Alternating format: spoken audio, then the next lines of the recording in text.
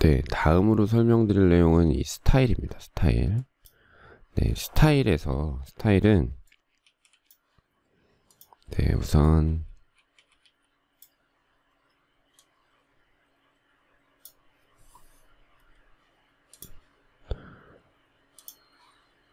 네, 스타일을 한번 적용을 해볼 건데 어, blur 네, blur 효과를 먼저 볼게요. blur는 네, 이렇게 흐림 효과예요. 네, 이렇게 흐림인데 여기 보시면은 blur의 그 강도가 있죠. 이렇게 올리면은 더 흐려지고 여기 보면 조금 네 보시면 이렇게 됐고 예, distance는 네, 이 블러가 적용되는 거리를 말해요. 네. 블러를 많이 쓰시잖아요. 웹툰 작업하실 때. 네, 포토샵에 가져가서 작업하셔도 되지만, 네, 기본적으로, 네, 여기서도 어느 정도 처리가 됩니다. 이렇게 블러 작업을 해주시면 돼요.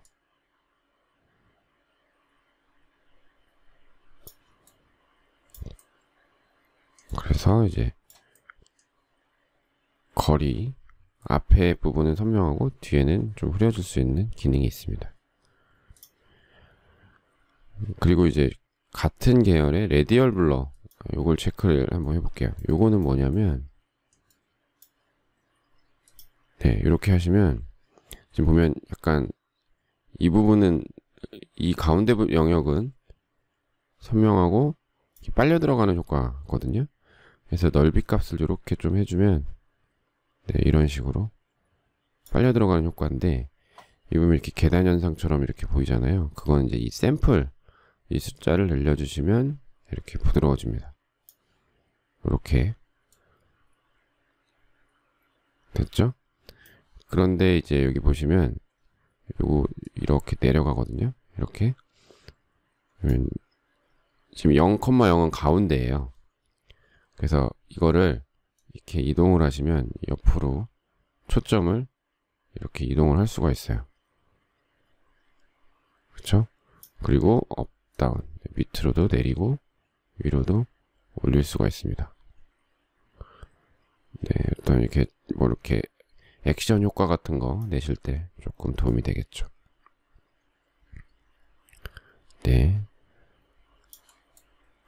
그리고 이제 이 샘플 숫자를 아예 이렇게 2나 이런 걸로 해놓으면 약간 술에 취한 효, 효과 같은 거, 네, 어지러운 효과 같은 거 있죠?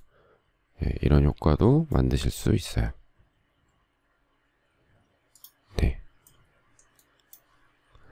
그 다음에 그 많이 사용하시는 와이어는 요 라인을 말합니다.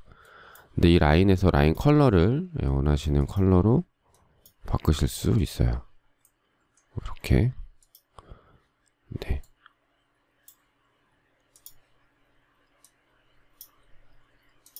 네, 이렇게 해서 라인. 그 다음에 라인의 두께는, 네. 지금 여기가 이제 소수점으로 움직이는데 정수로 하셔야 돼요. 어차피 픽셀 단위다 보니까 2하고 엔터 눌러주시면 이제 픽셀 두 개, 그러니까 두 배가 되는 거고요. 이렇게 5 하면 음, 두꺼워지죠 더.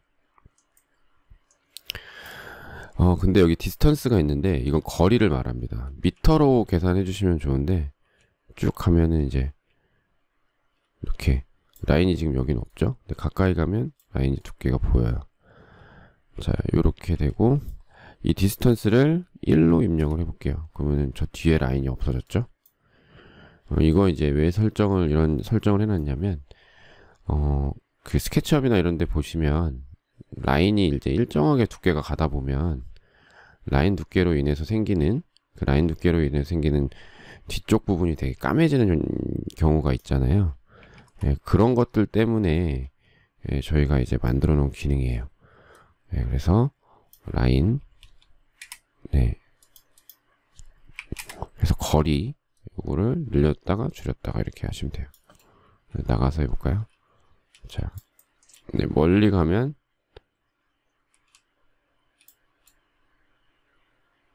네, 라인의 효과가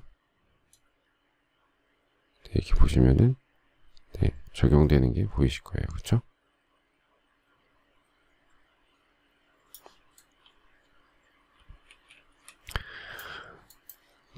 그리고 와이어, 라인 두 번째는 네, 조금 다른 라인 타입이라서 클릭해 보시면 라인 이제 두 번째가 들어가고요. 근데 얘는 이제 thickness 값을 이렇게 적용을 해 놓잖아요. 그러면은 이 거리에 따라서 라인이 이제 단계적으로 얇아져요. 자, 가까이 있는 건 두껍고 예, 멀리 있는 건 좀 얇게 표현되는 예, 요런 라인이에요. 네.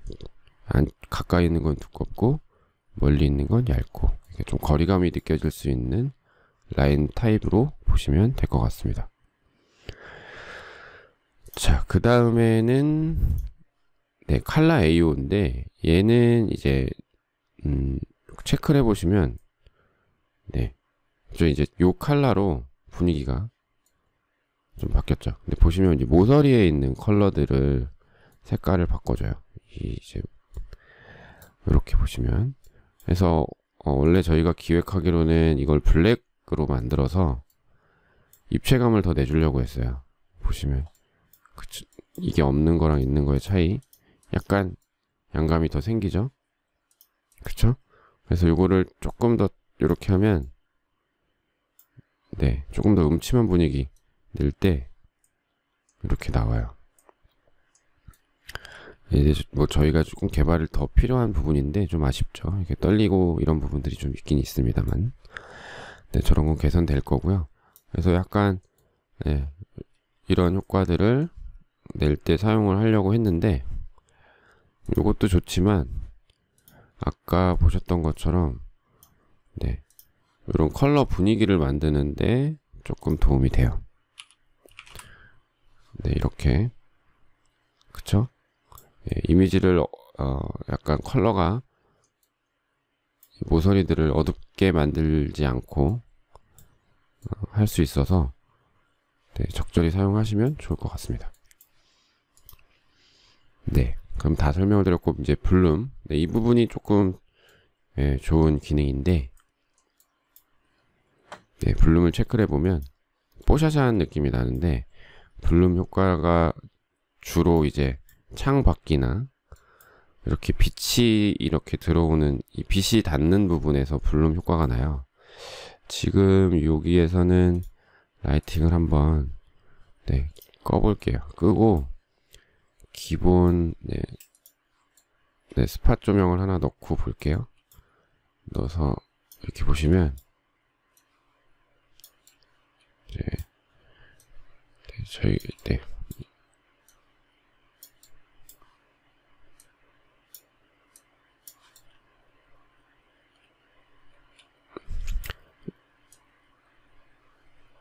네, 이렇게 빛이 이렇게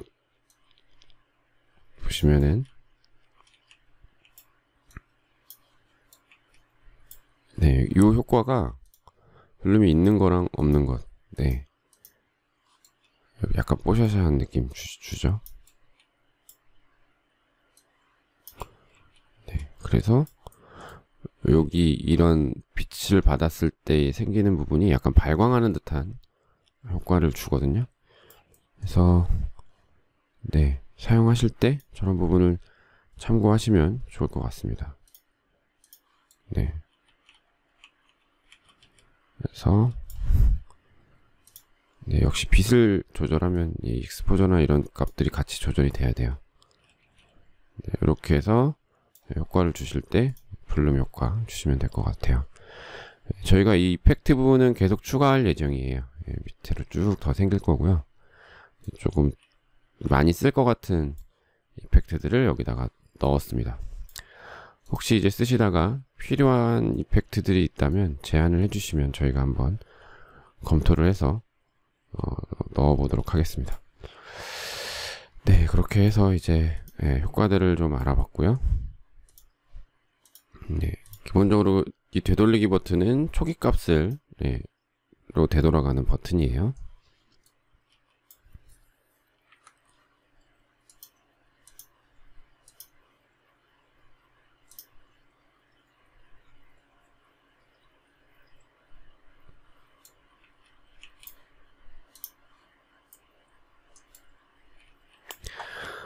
네, 그래서 스타일에서 예, 위쪽에 있는 이펙트를 알아봤고 그 다음에 이제 백그라운드인데, 백그라운드를 보시면은 이거 클릭하면 블랙이나, 네, 이렇게 바뀝니다. 음, 지금 저희가 이번 버전에서는 저장을 했을 때 이 없는 부분, 모델이 없는 부분에 대, 해서 PNG로 저장이 되진 않아요. 그러니까 투명하게 저장되진 않아요. 아쉽게도.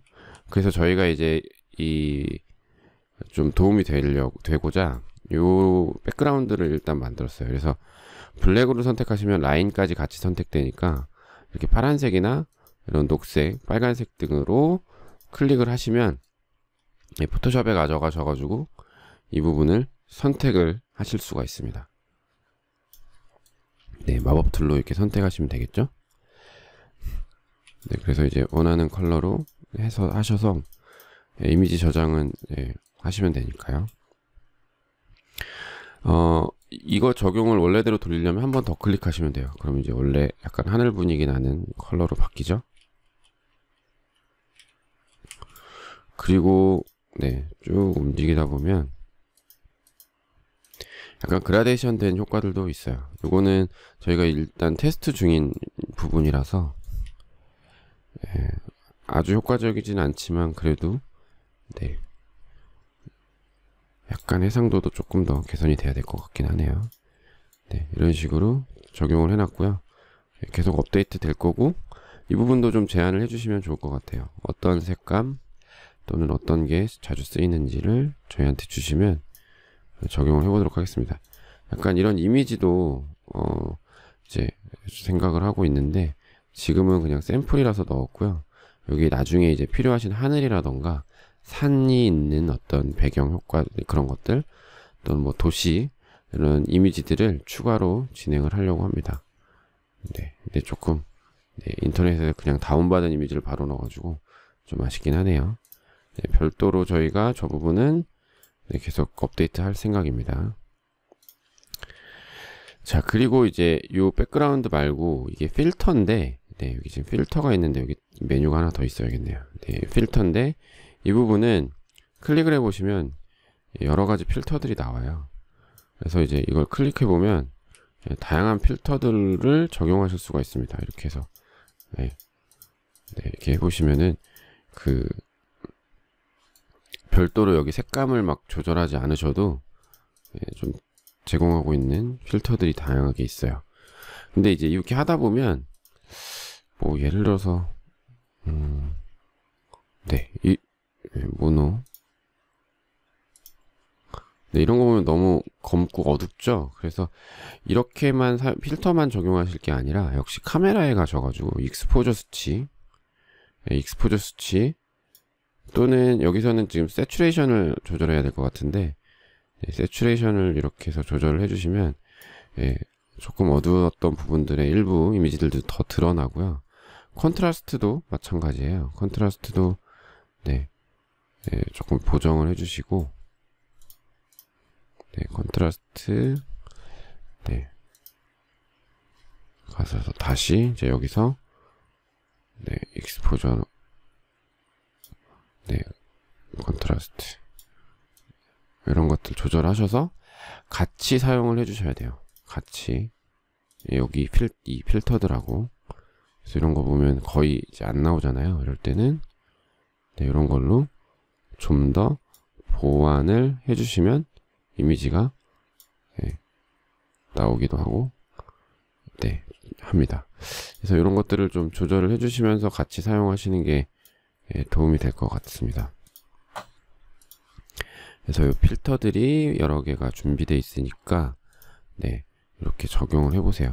그러면 이제 원하시는 분위기들이 예, 있을 거예요. 예, 저는 뭐 이런 거 좀 좋더라고요. 네, 별도 세팅 없이 분위기를 낼 수가 있어서 이런 것들이 준비되어 있습니다. 네, 필터 부분에서 적용이 이제 이렇게 했는데 이게 싫으신 분들은 다시 최, 맨 위에 있는 걸로 적용해 주시면 되고요. 네, 이렇게 해서 이제 필터 네, 스타일의 부분 예, 말씀드렸고요. 네, 뭐 카메라랑 연동해서 같이 쓰라는 부분도 말씀을 드렸습니다.